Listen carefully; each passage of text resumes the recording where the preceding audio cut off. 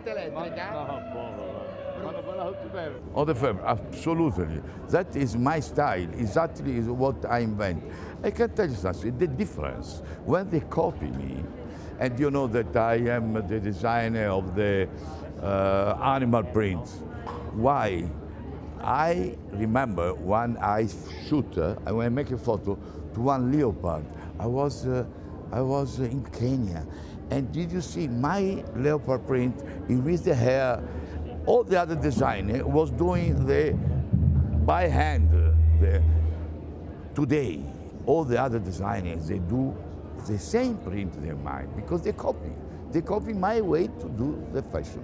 You know, it's very normal. A few days ago, they just opened one store in Via della Spiga, and I say, oh my God, a new Cavalli store was no Cavalli, was another another design, but it looked completely Cavalli. That makes me nervous because uh, because my style is my style. I don't know.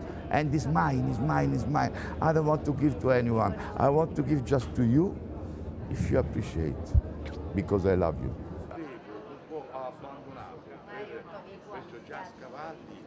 I have uh, five sons. No, I have three sons and two daughters. What is it? Just Cavalli? No, Just Cavalli is a son. Maybe it's my fourth son.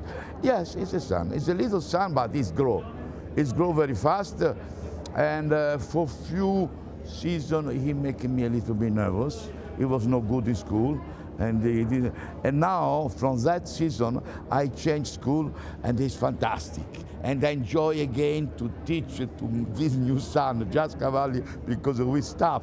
That staff is the new school of Just Cavalli, and it's fantastic. We enjoy together to create uh, something with the DNA Cavalli.